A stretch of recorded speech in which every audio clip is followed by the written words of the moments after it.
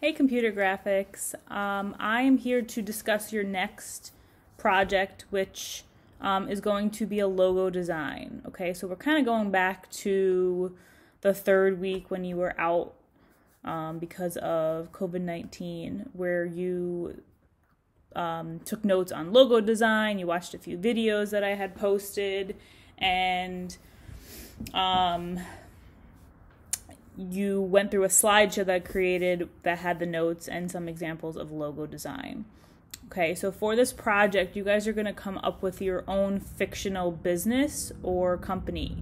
Okay, so for example, if you wanted to um, just kind of stick in the realm of graphic design, you could pretend that you are a freelance graphic designer um, or freelance artist, and in that case, you could use your name um, so, like mine could be Miss Fargnoli Designs, or you can base your fictional company off of what you might want to do after you graduate high school. So, maybe a construction company or um, a physician. Okay, so really think about what you um, might want to be after high school or what your goals are.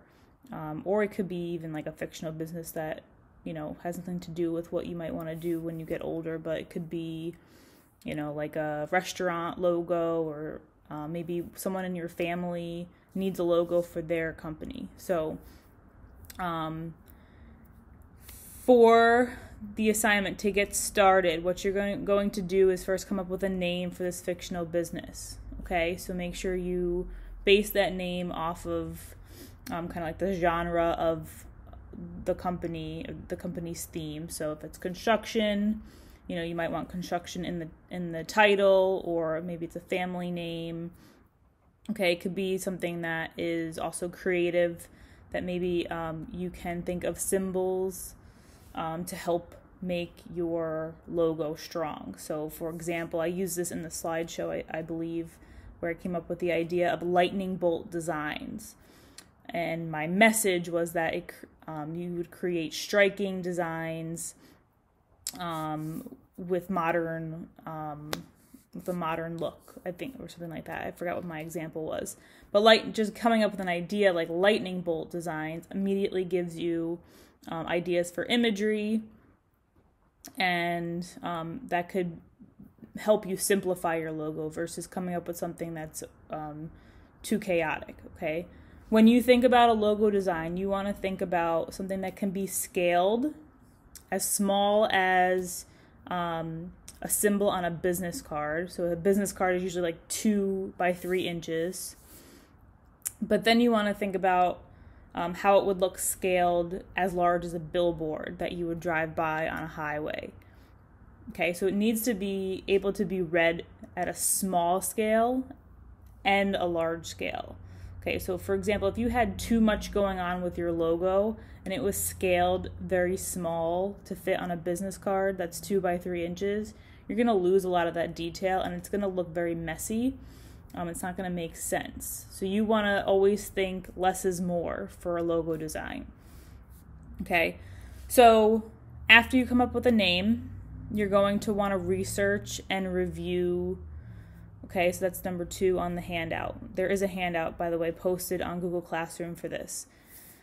So you're going to review the logo notes on week three that you did. So there was a slideshow of notes. You should have written them down in your workbook, so you could also review what's in your workbook.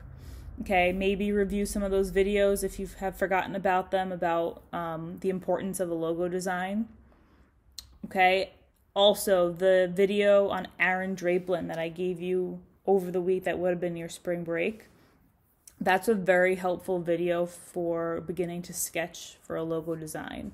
Okay, he also goes over um, manipulating his designs on screen. So you won't see him just designing one logo on a computer. You'll see him manipulating that one logo he first creates and then turning it into multiple logos so that he can compare and contrast um, to see what works best for um, the company that he's designing a logo for. So definitely check that video out under week three if you haven't yet. Um, for research, you don't need to write anything like we would do in class. But if you skip the research step, it's going, probably going to be difficult for you to, to begin sketching. So for researching, if you, let's say, are doing, um, are going to create a graphic design logo, so a logo as if you were a freelance graphic designer, you are going to want to search um, for professional logos in that area. So you're going to want to search for professional graphic designer logos. Okay, that will help filter your search so that you can see what some look like um, in that area. If you're going with construction, I know I keep using it as an example, which you don't have to do, but you're going to want to filter construction logos so you can see um, some professional design logos already. You don't want to copy those, okay, when you're sketching. You just want ideas and inspiration to help you get going. Okay, so for sketching, this is your third step. You're going to create six um, kind of like thumbnail sketches. Okay, really for this project, I, I normally have you guys do many more than six, but because of you know this whole situation, I'm going to just make it six, um, just so it's not too much work. And um, then after you create the six, we'll talk through Google Classroom and um, discuss what your strongest logo design is. Okay, so again, you're gonna have to do six sketches. They could be thumbnail size. I would maybe put a little bit more detail in, not just quick scribbly sketches. You really wanna get an idea for, you know, your symbols and text that might be incorporated also when you're sketching really keep those gestalt principles in mind so similarity proximity if you have um, a grouping of elements that are all in proximity to each other and then one element that's kind of far off to the right that's going to be disconnected that one element that's farther away okay you want to make sure your elements are close in proximity to one another okay and and then you could play around with figure ground. That could be something that helps make your logo more appealing. Um, okay, so definitely check over those Gestalt principles to help you come up with a unique and interesting design. To make the sketches, you can hand draw them, or you can use Photoshop if you're able to get that at home. Um, any other design software that you're comfortable using, you can use. Um, I also added an app called Logo Maker Shop. Okay, that it should it should be free, and um, I played around with it a little bit. Um, it's not so much creating all the elements on your own, but they do have a lot of elements that you could pick from and like drag onto the screen and then organize in a way to make it how you would want. Okay, so you're drawing it using some sort of software on the computer that you might have. Remember, GIMP, G I M P, is an, a free alternative to Photoshop if you uh, have a computer at home and want to try and make it um, like we would have in class. Okay, and then there's that app Logo Maker Shop. By the way, everything I'm talking about right now is on the handout that's attached um, under week, I think it's week eight on Google Classroom. Okay, so you could find all this information there. That is going to be due on the 15th. The six sketches due on Friday, May 15th. So, not this coming Friday, next Friday. You got two weeks for it. Okay, once I see that you've uploaded those, I'm going to um, leave some comments on Google Classroom under your post that um, will just be feedback. Um, you know, I'll kind of mention what might need to be reworked or uh, what's working in which logo the best, and maybe you might have to combine some of your logos, uh, your logo ideas, um, to really get your strongest um, final logo. Okay, so once you see that I've written you feedback, then you're going to select or rework your logo, okay, so that you can hand in a final one, which will be submitted on Google Classroom on May 22nd. Okay.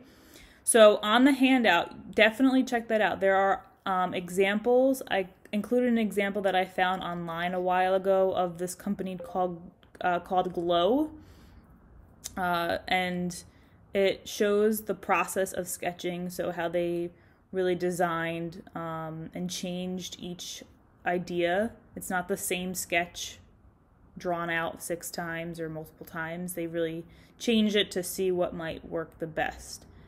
Okay, and then I included Natalie Calburn's logo design from last year.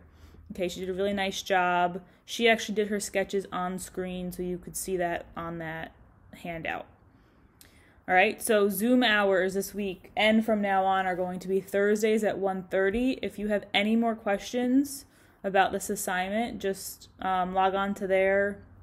On Thursday, I'll attach the link to the Zoom um, on Thursday morning so that you guys can just click the link and show up. All right, so again, just email me or come to the Zoom meeting on Thursday if you have any questions and this this is what we'll be working on for the next couple weeks. So again, review your logo notes if needed. And I can't wait to see what you guys will come up with. All right, so at the end of this video, I'm going to repost the handout just in case you guys aren't seeing it.